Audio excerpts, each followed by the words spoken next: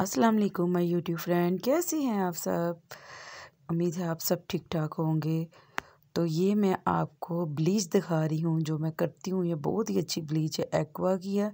बहुत ही बहुत ही उम्दा इसका रिज़ल्ट है। आप लोग भी ट्राई करके देखिएगा, बहुत ही अच्छी ब्लीच है ये, देखें। ये आपको मार्केट में हर जगह अवेलेबल होगी, आराम से मिल जाएगी। तो आज आज हम खाना बनाने की तरफ़ चलते हैं।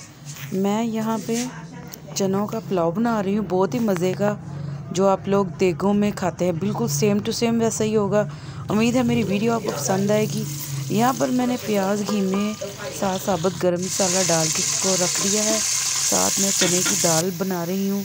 यहाँ पर प्याज जो है, हमारा ब्राउन हो चुका है। मैंने लहसुन को क्रश करके डाल दिया था। साथ मैंने टमाटर ऐड कर दिए हैं। दो दो मैंने टमाटर लिए थे। दो तीन लहसुन के जवे थे।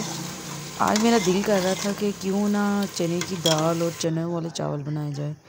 यहाँ पर मैंने अदरक और हरी मिर्चों को कटिंग कर लिया। यहाँ पर मसाले लिए नमक, काली मिर्च, लाल मिर्च, हल्दी, सूखा धनिया पिसा हुआ और कुटी लाल मिर्च। ये सारे मसाले हम इसमें ऐड करके तो चनों को हम अच्छे से भून लेंगे, फिर उसमें पानी ऐड कर देंगे।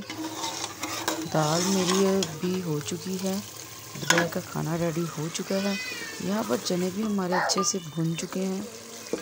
अब इसमें हम चावलों की क्वांटिटी के हिसाब से जो है ना, पानी ऐड कर देंगे। यहाँ पर मैंने पानी ऐड कर दिया है।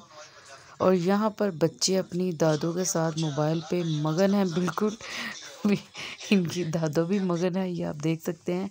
अच्छा जो ब्लीच थी वो मैंने लगाई है पंद्रह मिनट या दस मिनट। अगर तो आपकी जल्द सास है, यानी कि जल्दी रैश हो जाती तो फिर आप दस मिनट ही लगाइएगा।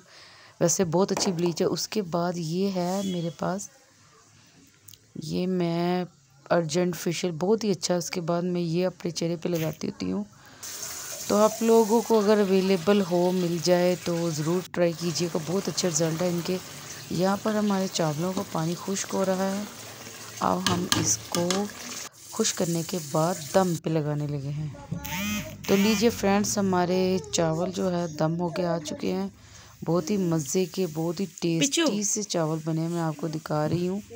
ये देखिए, बहुत ही यमी से चावल हैं। आप लोग भी इस तरह से रेसिपी बनाएँगे, बहुत ज़्यादा मसालों से बेहतर हैं।